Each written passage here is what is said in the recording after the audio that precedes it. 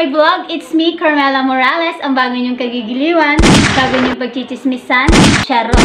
So, for today's video, ang gagawin po natin ay reaction ng ating mga magulang pag tumataya ng weteng at pag humihingi ng pera. So, kung gusto niyong malaman kung paano yon, panoorin niyo to. A few moments later.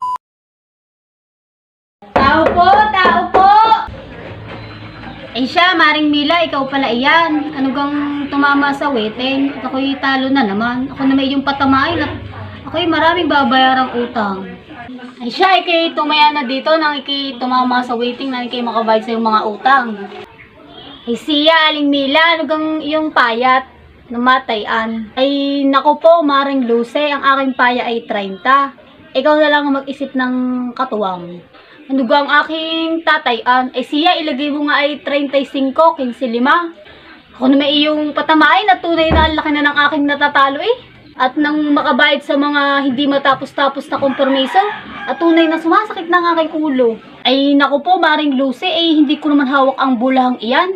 Ay siya, eh, tama na usapang ari ko Maring Lila at ako'y maglalaba pa.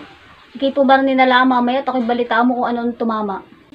Ay siya ako'y paparini na at babalitaan na lang kita mamaya kung ano ang tumama ha. A few moments later. Aling Mila, ano ga ang tumama? Ay siya, ikay nakabiakan, 30 sa is ang tumama. Ay inang ko po, isa na lang ang numero ay tama na. Tumbukan pa naman, hindi pa ay pinagkaloob. Ako'y hindi natataya sa waiting na yan, ako'y niloloko laang. So ayun, napanood nyo naman yung mga kaganapan doon sa pagtaya-taya sa wedding ng ating mga ina-ina. Kung nag-enjoy kayo ay mag-comment lang kayo. At panoorin nyo naman ang isa nating kaganapan, ang paghingi ng anak ng pera sa kanyang ina. So, panoorin na natin para kayo ay mag-enjoy. A few moments later. Naipingin nga akong 50, ako'y papaload lang po.